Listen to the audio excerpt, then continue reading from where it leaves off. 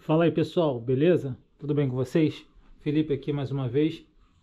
E hoje eu vou trazer um vídeo aqui um pouquinho diferente, né?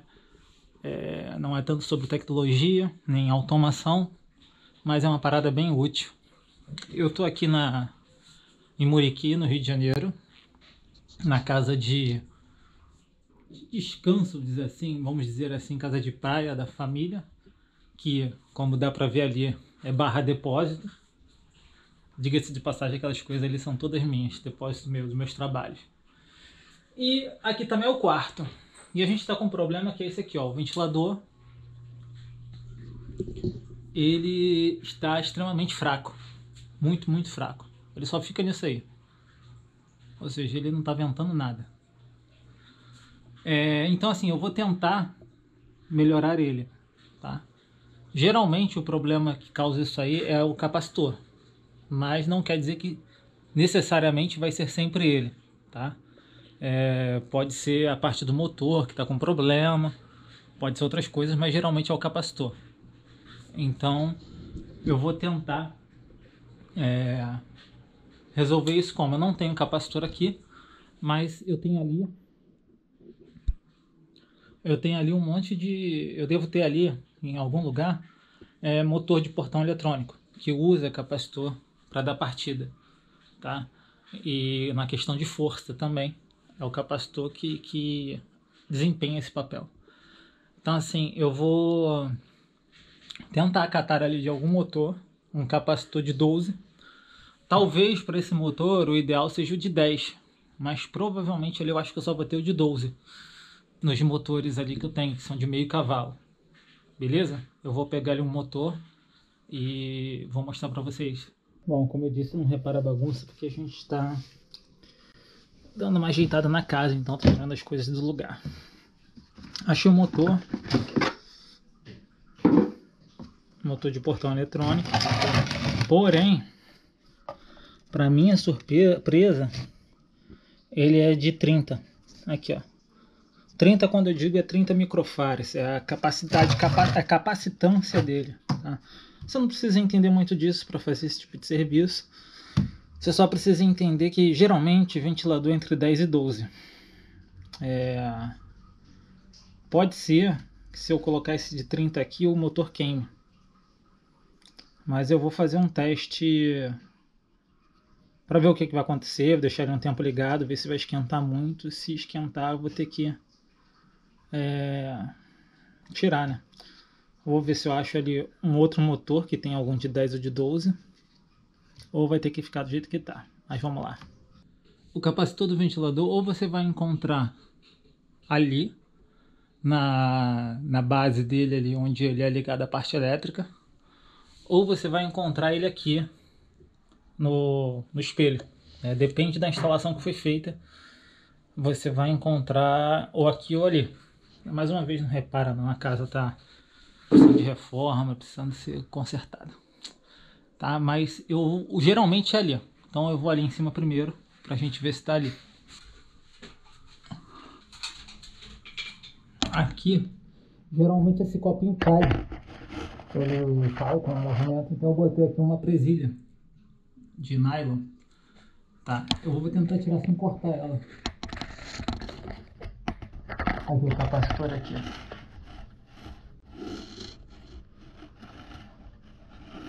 E esse capacitor de 10, ó. Tá vendo? Tá aqui, ó. Ele é de 10. Então, assim, botar um de 30 pode ser um exagero. Mas eu vou testar para ver o que, que vai acontecer. Ver se vai esquentar muito, enfim. É, a nível de informação, o capacitor ele é ligado entre a, o giro horário, tem dois fios, né? um que faz ele girar horário e outro que faz ele girar anti-horário. E dependendo de qual você alimenta, o ventilador gira por horário ou anti-horário. O capacitor fica ligado entre esses dois fios, tá? Então, hora você vai alimentar um para ele girar para um lado e hora você vai alimentar outro para ele girar para o outro. Aqui, ó, que é o, é o frente e o reverso. Aqui esse capacitor está ligado no reverso e no frente. Por que eu sei que esse aqui é o frente e esse aqui é o reverso? Porque esse, esse ventilador aqui, com o botão que ele tem ali, o, o controle que ele tem, ele só gira para frente. Não, a gente não tem opção de reverso. Então tá aqui, ó, ele não tá para frente, o reverso fica solto, né? E o, a outra perna do capacitor nele. Se ele tivesse reverso, em vez, em vez de alimentar aqui o frente, ele alimentar aqui e pronto, ele ia girar em anti-horário, beleza? É só isso, lógico. Eu corto aqui e coloco o capacitor no lugar. Né? Eu não tenho certeza se vai funcionar porque é, o meu capacitor é muito, muito alto. Tá? Mas uh, você aí, o ideal é só ir comprar um de 10 ou se você quiser dar uma ousada, comprar um de 12 e vai funcionar de boa. Pode ficar tranquilo. É, dois detalhes que é bom salientar. Eu já estou aqui com o capacitor na mão, arranquei ele do motor. Fiz a ponta nele com um alicate de corte. Tá? É, que o ideal é você desligar a luz para fazer isso. Tá? Porque dependendo de como a instalação foi feita, mesmo que o ventilador não esteja ligado, pode ser a fase que esteja passando por ali. Então assim, você vai tomar um choque. Tá? Mesmo ele desligado. Depende de como a instalação foi feita. Se a instalação foi feita para quando você ligar, ele chavear o fase, que é o correto, você pode encostar ali na parte do capacitor sem problema, que ele não vai te dar choque, tirando o fato de que ele vai estar carregado, né? Então assim, quando você...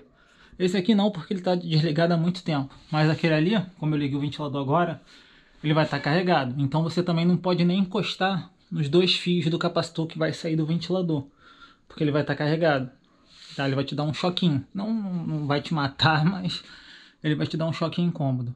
Então, cuidado ali na hora de tirar, né? Mesmo você tendo desligado o relógio, o capacitor pode te dar um choque. Então, assim, cuidado na hora de tirar, corta o, o X do capacitor, isola, separa ele, aí liga o capacitor novo, isso tudo com o relógio desligado, tá? Que é o ideal. Bom, vamos lá.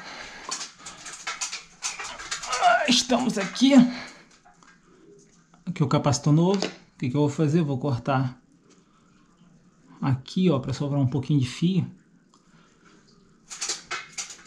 para eu trabalhar. Eu não preciso me preocupar tanto aqui porque eu soldei da última vez que eu fiz isso. Esse capacitor, se eu não me engano, ele já foi trocado. Mas de qualquer forma, quem instalou esse ventilador fui eu.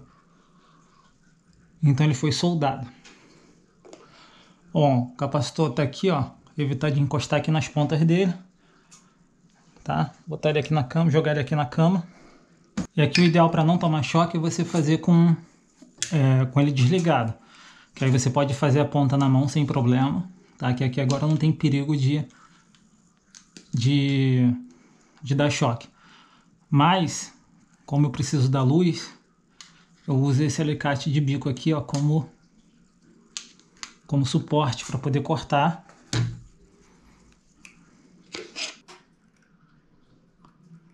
também na hora de emendar eu vou usar ele. Eu poderia até usar a mão, porque minha escada ela é isolada. Apesar dela ser de alumínio, ela é isolada. Então eu posso usar a mão, mas não é o aconselhável não, tá? Bom, tá ligado. Eu posso fazer um teste já assim e ver se pelo fato do capacitor ser de 30 vai me causar problema. Provavelmente vai. Vamos ligar ele aqui. Eita, já viu que ele... Olha só. Dá até um pouco de receio. Porque o capacitor é muito forte, ele pode estourar o motor.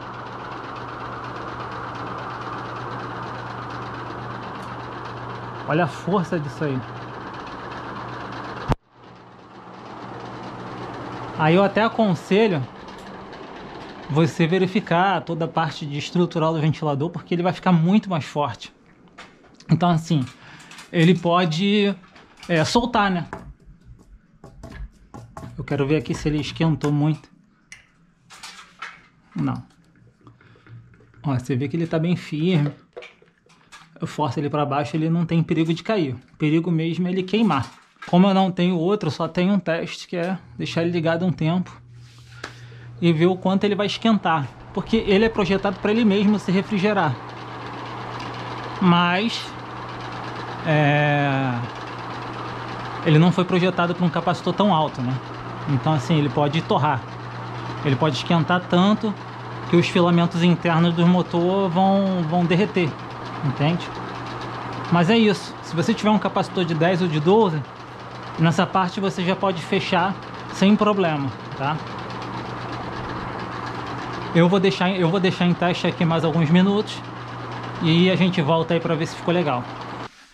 É, pessoal, não teve jeito. Ficou maravilhoso o vento, mas o, o motor ele tá sobrecarregando. Né? Ainda mais sendo um motor velho, ele vai, ele vai arrebentar fácil, rápido, né? Então, assim, eu procurei ali, mas eu não achei é, nenhum outro capacitor menor. Eu só tenho motor, achei um outro motor com outro capacitor de 30. É, só me resta aplicar uma solução, aplicar uma meia solução. Né? O que, que eu vou fazer? Eu vou ligar esses capacitores em série.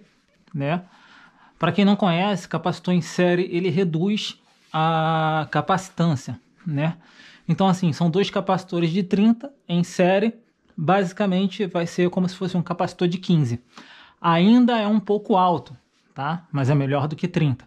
Eu estou reduzindo aí pela metade a potência aí do, do capacitor sobre o motor, o que vai dar uma chance aí de sobrevida para o motor. Porque também do jeito que estava ele está sendo inútil, né? Manter aquele capacitor de 10 é inútil.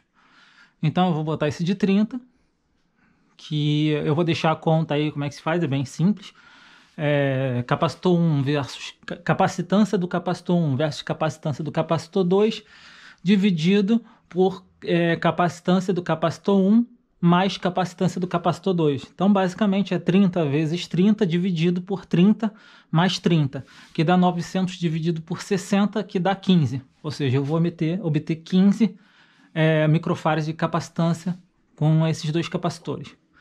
E vamos ver se isso resolve o problema. Aqui eu já corro o risco de ter uma carga. Já descarregou. Com isso eu tenho dois capacitores de 30 em série, que vai me dar o equivalente a 15 microfarads. Vamos ver como é que vai ficar?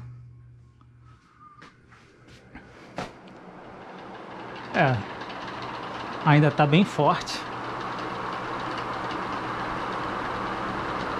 Bem forte mesmo. Agora eu vou ver se ele vai esquentar demais, que nem ele estava aí pegando fogo.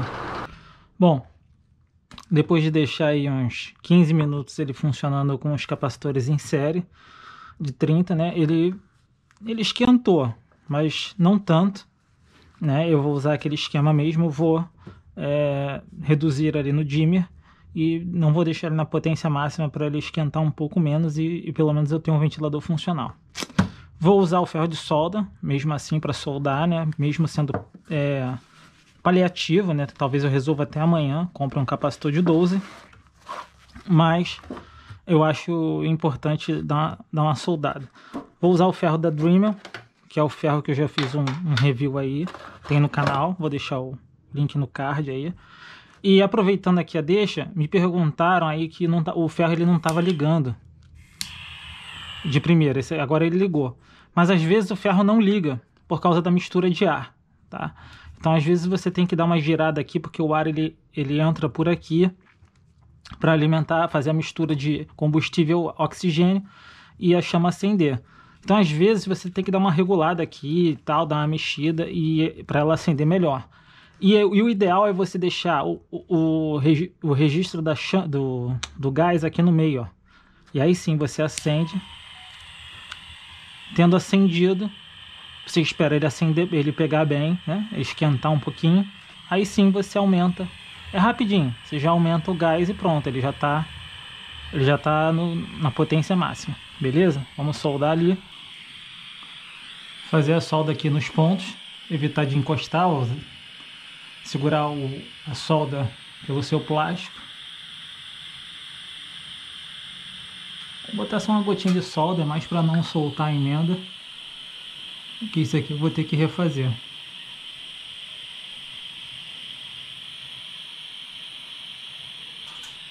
não soltar e também não dar mau contato.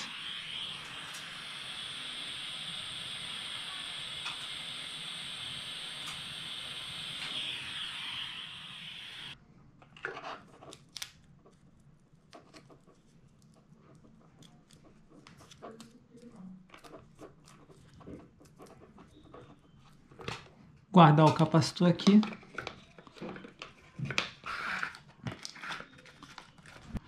Botar uma nova fita aqui para poder segurar o copinho. E pronto. Tá resolvido. No meu caso, temporariamente. Mas para vocês, colocando o capacitor certo, vai resolver definitivamente.